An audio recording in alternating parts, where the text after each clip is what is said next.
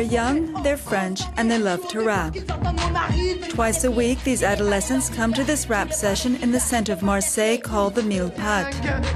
They learn how to write words and music to express their feelings, but also their frustration and sometimes anger at a system which they believe has left them behind.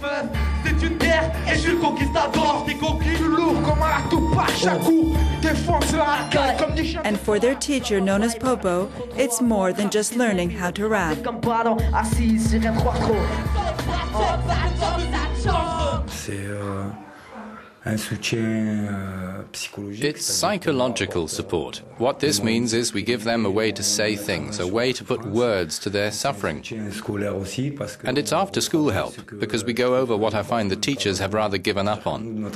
When we were small, they drummed spelling and grammar and all those things into us, and those got lost over time. s'il n'y a pas quelqu'un qui le fait If there isn't someone to do that, you end up with 14 year olds who don't know how to write French. Et qui savent pas écrire en français, Things are already tough enough socially, we shouldn't make it worse. social pour pas s'en rajouter.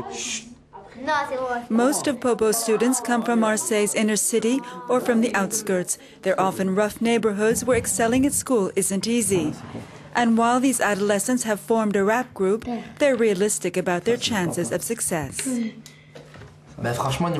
Frankly, as far as support goes, apart from Popo and the Mille Pat, there isn't anyone who wants to help us. Sometimes we ask. They'll make promises, but they don't keep them. They say they'll help us with this or that, but they never do what they say they're going to do. le mille potes, So, not counting Popo, not a lot of people help us or push us to go further. The result is we feel a bit lost.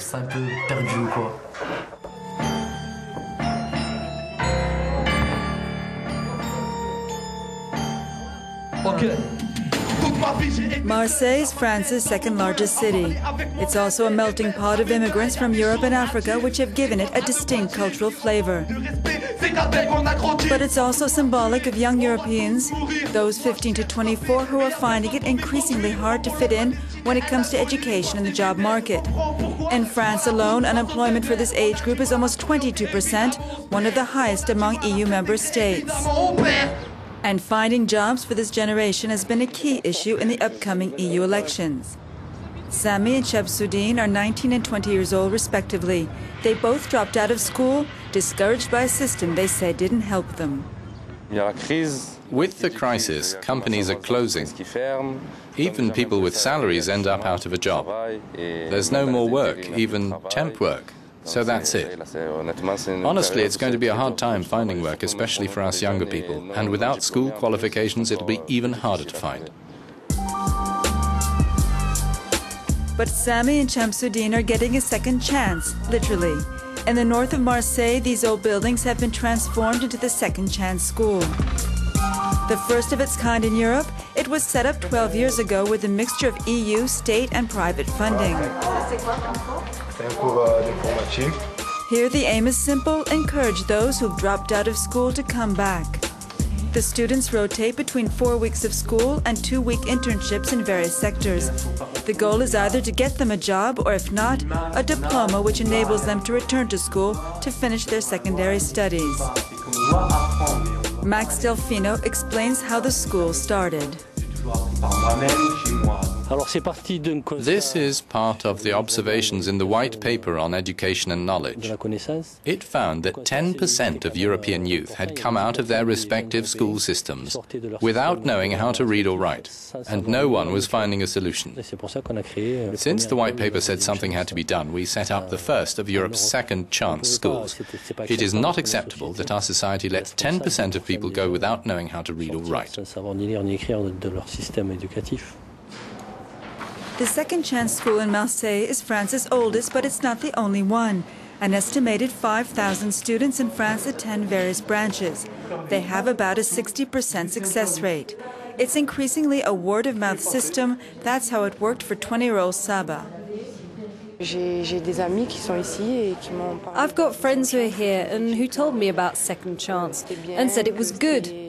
And they've been able to find work and work training in areas we were interested in. Dans le domaine qu'on voulait dans notre filière. Moi, je- I'd like to be a nursing assistant. In Europe, one out of five adolescents drops out of school before the age of 16. Saba is one of them. Like many of her peers, she says the choice to leave wasn't dramatic, but it was hard to go back. savez comment ils sont les You know what young people are like. They'd rather stay at home and Rester à la sleep in. Et voilà. At this restaurant near Marseille's Old Port, there is a 21 year old who managed to wake up and get out of bed.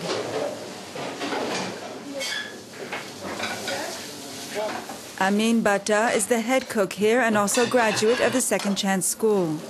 Like many of his generation in Marseille, he had dreamed of being a football star, but he didn't make it and dropped out of school. He's been working full time here for three years, and today he helps out trainees coming from his old school.